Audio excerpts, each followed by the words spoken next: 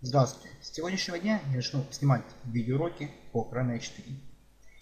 Мои уроки будут полезны новичкам, которые только-только разобрались с движком и его основами. В этой э, серии видеоуроков я буду объяснять, что такое FG, то есть Fall of Grabs.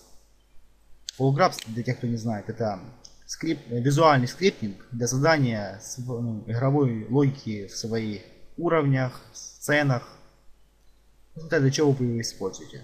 Но FK это довольно-таки сильный инструмент в Crytek 4. На нем можно создать практически все, что необходимо в самой игре, ну кроме самого, само собой C++ кода. Начнем. Э, для того, чтобы создать свою первую, первую схему FG, необходимо зайти в Roll Bar, Objects, Entity. Тут раскрыть ну, вкладку Default и выбрать элемент Flow Grabs Entity, то есть сущность элемента FG. Ставим его на карту. Теперь для того, чтобы перейти к созданию скрипта, необходимо в настройках объекта найти вкладку Full of Grabs. Нажать кнопку Create. Даем ему любое английское имя ну или цифровое. Жмем ОК.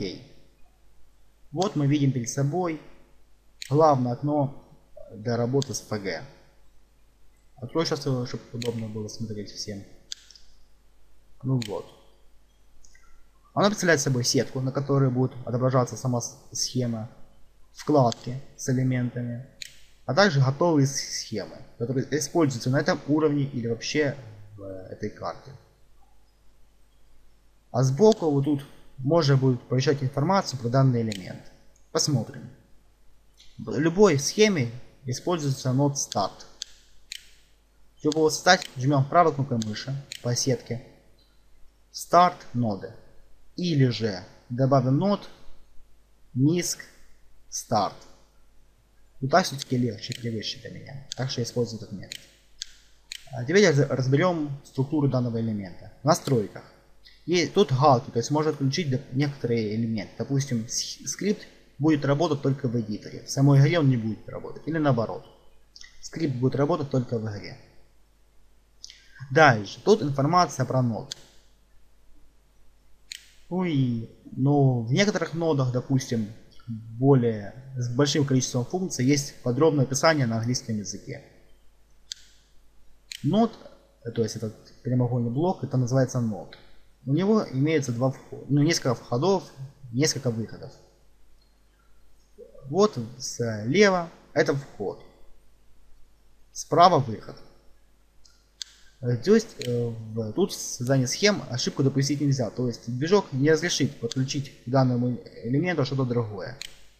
То есть от входа к входу. Или сам элемент замкнуть на самого себя. Он это не разрешит сделать, так это ошибка.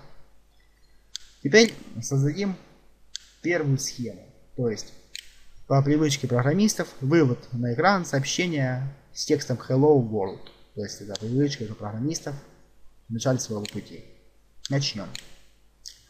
Нам жмем правку мыши, добавляем нод из категории HUD вот Display Debug Messenger. То есть мы будем выводить на экран сообщения. Тут их два нода разных display timed debug message, то есть он исчезнет через некоторое время. То же самое можно сделать и с обычным модом.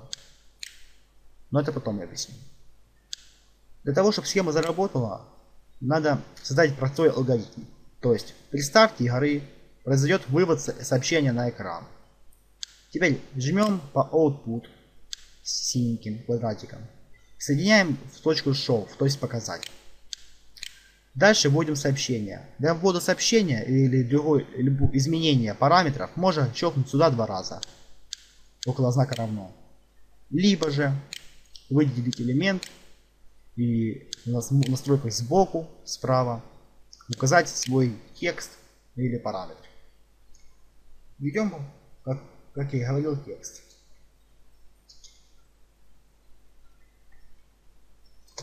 Теперь я сейчас объясню вкратце функции данного элемента.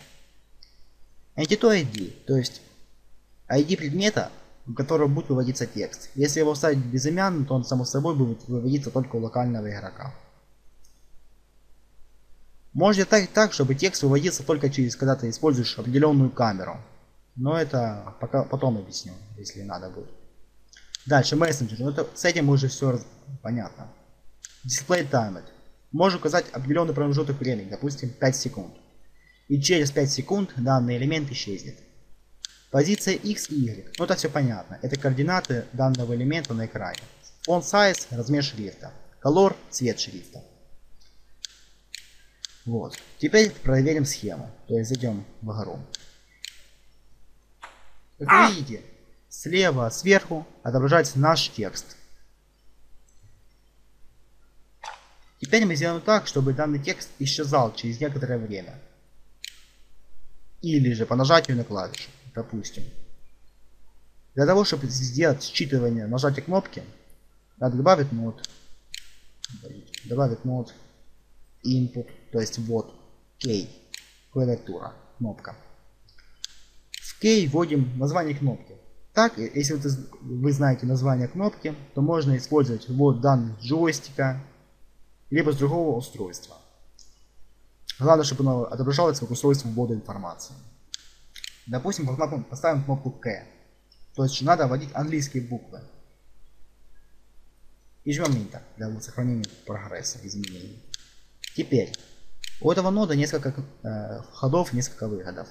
Входы понятно. Enable, Disable. То есть можете так, чтобы данный элемент работал в в определенный момент времени. И также в определенный момент времени он отключался. Есть несколько выходов. Preset и Reset. Preset – это событие будет происходить при нажатии на кнопку. Reset – при отжатии кнопки, то есть когда вы берете руку, палец кнопки. Давайте сделаем так, что при нажатии на Preset текст исчезал. Проверим. Вот текст исчез. Теперь мы сделаем так, чтобы текст исчезал еще через некоторое время. То есть поставим здесь 5 секунд. Вот, запустили игру, и текст сейчас должен уже исчезнуть. Все, текст исчез. То есть теперь текст будет исчезать и либо через 5 секунд, либо при нажатии на определенную кнопку. Это самое простейшее. FG, простейший скрипт визуальный. С него, с его завершением, я считаю, что урок закончен.